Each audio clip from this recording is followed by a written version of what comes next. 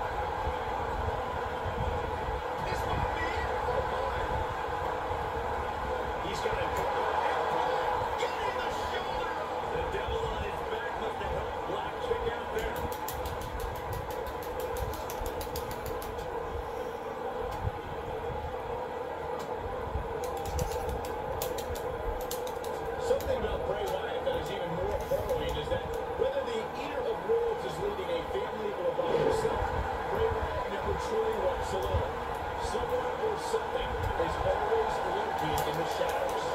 Thunderous slam.